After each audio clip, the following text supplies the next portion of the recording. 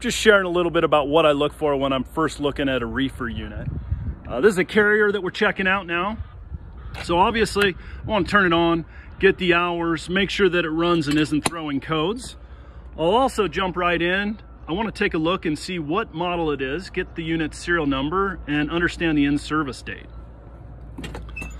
Another great thing to look for is dates and hours on the filters. let you know if it's been well maintained and if it's due for service. I mean, obviously you're looking for drips, leaks, any, any visible problems in the unit. Checking the belt, uh, keep your fingers away from that. I just flipped it on and uh, also looking for cracking and tension problems on that.